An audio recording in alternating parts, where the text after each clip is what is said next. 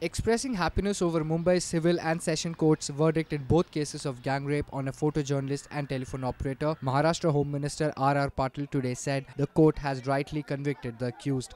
He added his administration will try its best that no such cases happen in future. Patil said Mumbai has always been termed as the safest city for women in the past and he will try his best that this credit is not taken away from it. He added after the horrendous Shakti Mills gang rapes, Mumbai is being seen with suspicion, but the state government is doing everything to bring that trust back in people.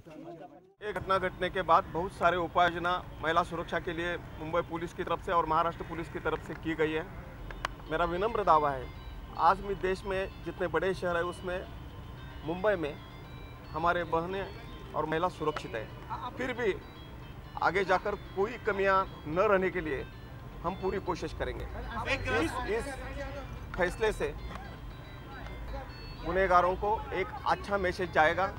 दोबारा ऐसी घटना करने की हिम्मत कोई न करे। This report was brought you by N N I NNIS.